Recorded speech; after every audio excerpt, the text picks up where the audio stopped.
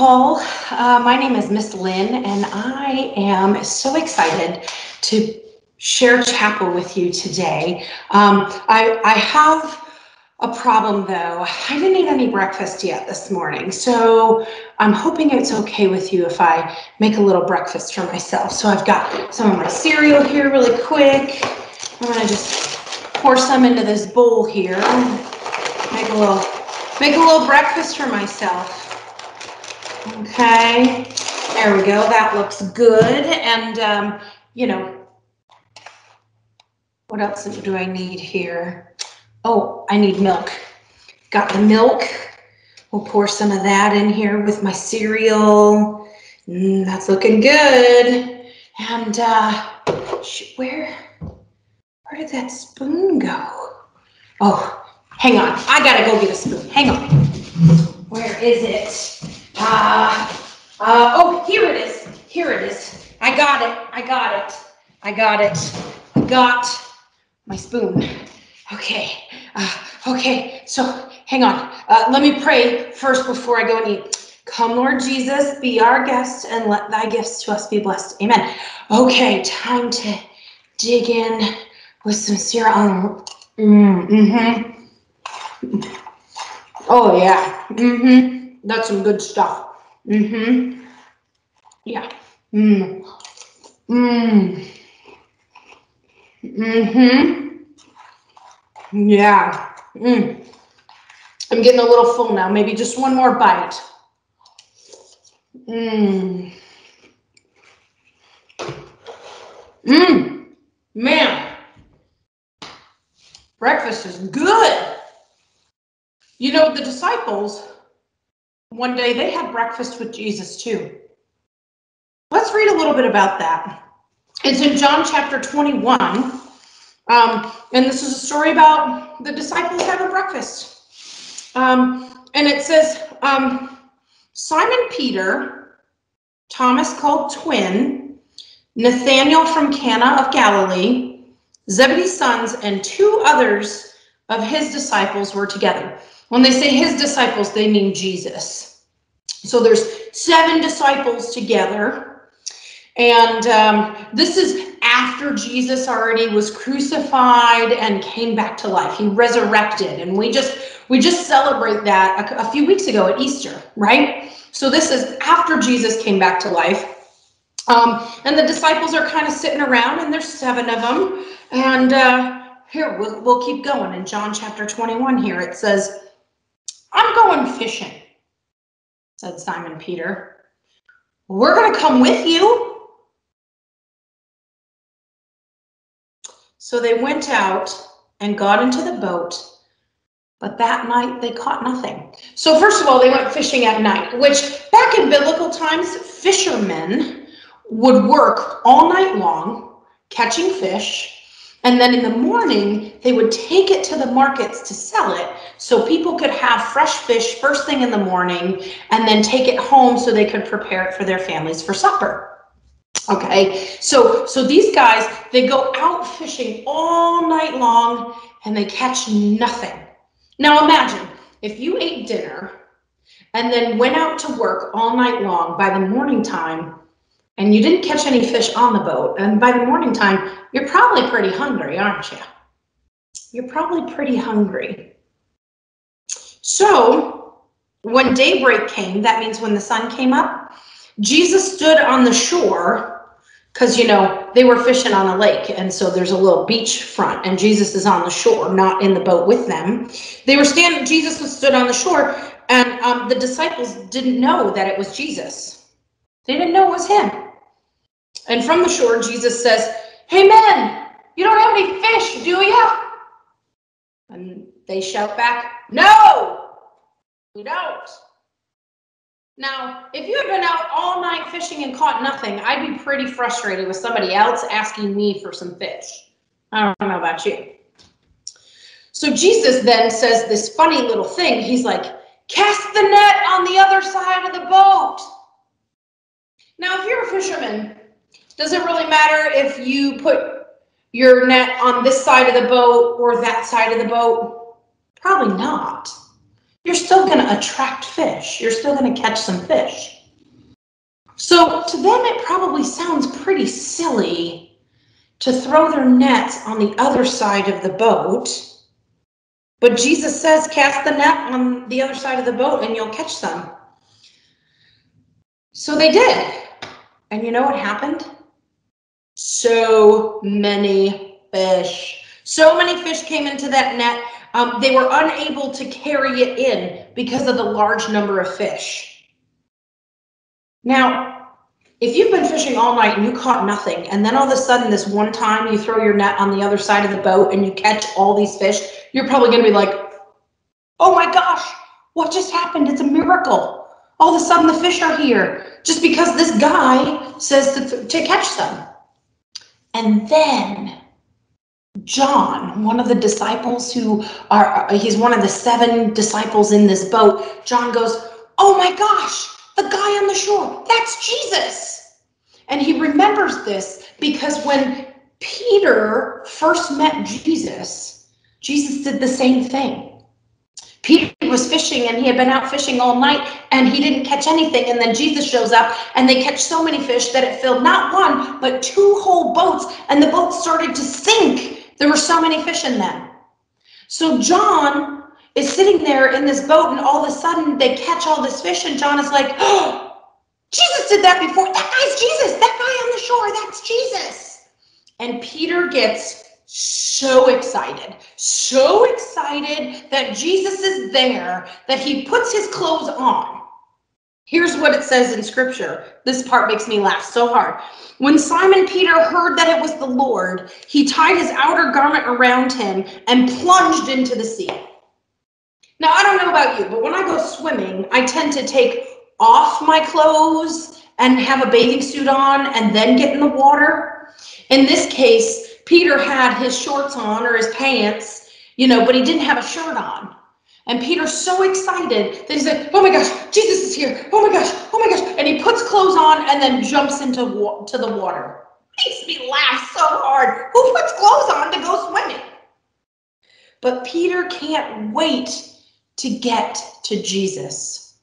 He jumps in the water and he swims to the shore because it's his Lord, it's his best friend and he's so excited to see him. When they got on land, they saw a charcoal fire there with fish lying on it and bread. So Peter swims into shore to see Jesus. The rest of the disciples stay in the boat and they're like hauling the nets and trying to paddle into shore to see Jesus too. And once they're all there, they see that Jesus already has a fire going He's already cooking the fish over the fire and he's made bread for them. See, when we follow Jesus, sometimes that might look silly. It might sound silly to say, throw your net to the other side of the boat. It might sound silly to eat your cereal with a garden show. But when we follow Jesus, it's not silly at all. You see, when Jesus says, for us to do something, He's doing it for our good, for our blessing. And when we're obedient and we see His blessing come through, we get so excited. Now, can you imagine catching all of that fish? swimming into shore and having breakfast on the beach with Jesus, and then going home and acting like nothing happened? No, of course not.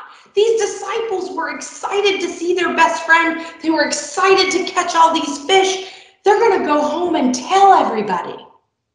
They're going to go home and tell everybody, we were out fishing all night long. We didn't catch anything. And then Jesus came on the shore and he said, try it the other way. And we tried it the other way. And oh my gosh, we got 153 large fish. This is what Jesus does in our life. He says, try it my way. Try doing things my way, and there will be blessing. And sometimes that might look foolish to the world. But when we follow Jesus, when we listen to his commands to love one another, to serve one another, to follow and be obedient to God's word that he gives us in the Bible, God blesses our socks off. Now, they're all on the beach. And here's what Jesus says He says, Bring some of the fish you've just caught. So Simon Peter got up and hauled the net ashore full of large fish, 153 of them. Even though there were so many, the net didn't break. Now, this is miraculous too, because the net wasn't meant to hold all that fish, but because Jesus was involved, the net stayed together. Have you ever carried a grocery bag that had too much weight in it and the bag split and everything in the bag went everywhere because the bag wasn't meant to hold that much stuff? Well, these nets weren't meant to hold that much stuff either, but they didn't break. Because when Jesus asks us to do something, he gives us all that we need. He provides for everything we need to go and do what he says. And so, just like he provided a net that would be able to hold all these fish, he also provides for you and I. He also says, I'm going to give you everything you need. You don't have to worry about it. So Peter pulls the, the net in with all these fish and then Jesus says, Hey, come on and have breakfast. Let's go celebrate. Because when we follow Jesus, it's not just about doing all the work, it's also about celebrating. It's also about being together and having relationship with one another. Now, I don't know about you, but I like to eat. And I bet you do too. I don't like to eat just by myself either. I like to eat with my family or with my friends. And that might have been really hard this past year. You might have only gotten a chance to eat with just your family because, you know, some of the restrictions around say we need to be safe and protect people and wear our masks and stay inside. That can be really hard. But Jesus always says, you don't have to wear a mask when you come have breakfast with me. When Jesus says, come and share a blessing with me, he said I want relationship with you. I want you to sit down and, and talk with me. Just like you sit down and talk with your family at dinner time, Jesus also wants you to sit and talk with him. So, what's the whole point of all of this story? The funny thing is that sometimes it might look ridiculous to eat cereal with this big old funny shovel.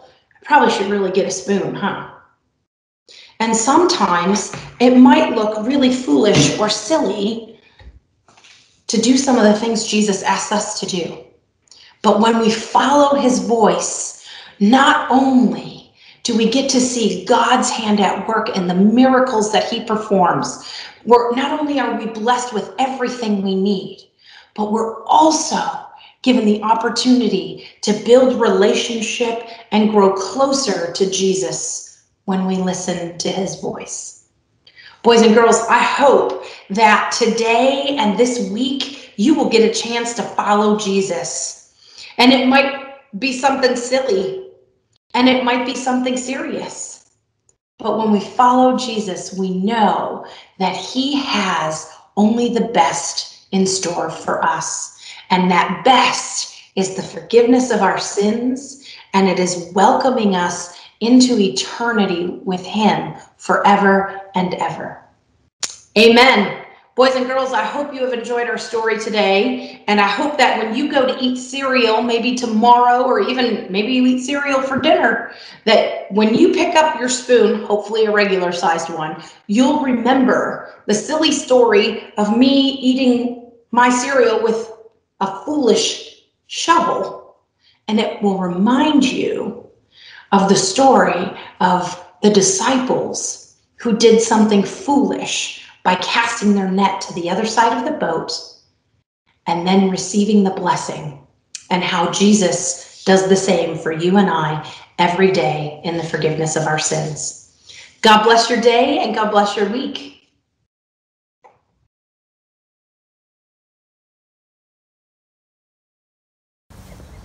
Hi guys, we're going to sing Peace Like a River. Some of you might already know this, but we're going to teach you the motions.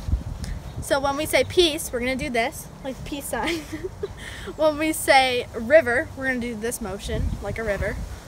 When we say love, we're gonna make a heart shape with our hands. When we say ocean, we're gonna do like a big wave. When we say um, joy, we're gonna do this. And then when we say like a fountain, we're gonna do this. Oh, and this is our soul. This is this is the movement for soul. Thank you.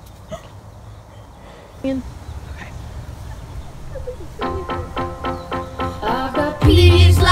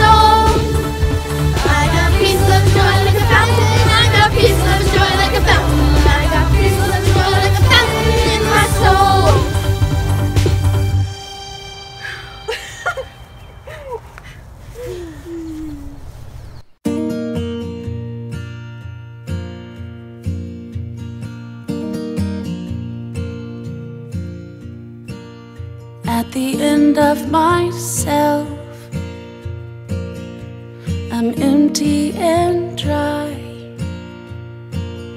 I have nothing to give but surrender inside.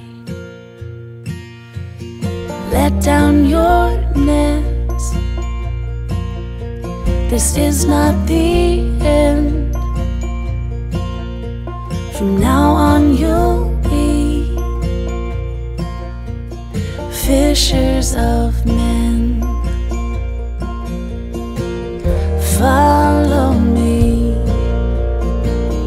follow me, follow me, follow me.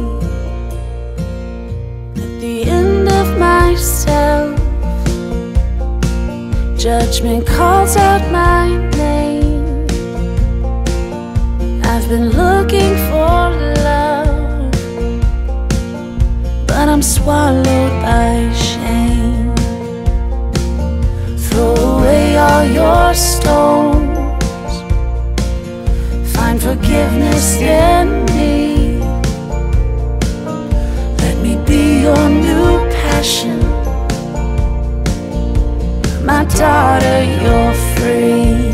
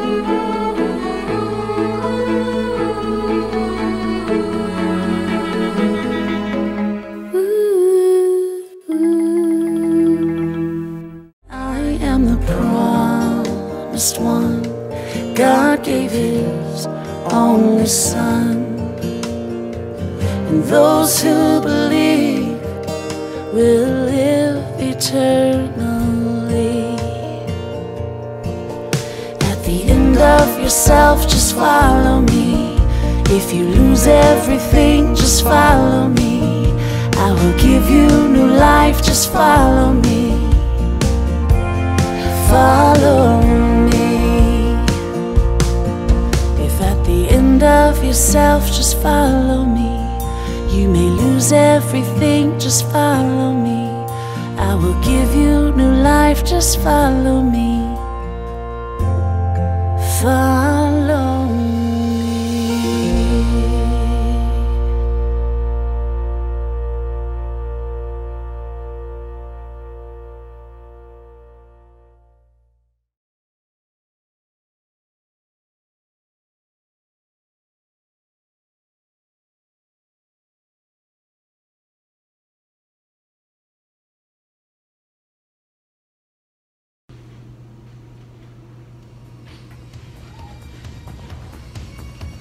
You're still here? It's over. Go to your next class. It's over.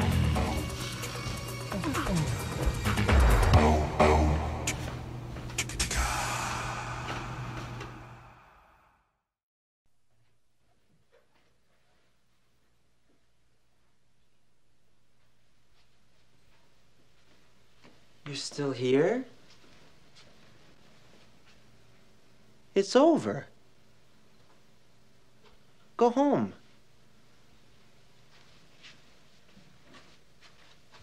Go.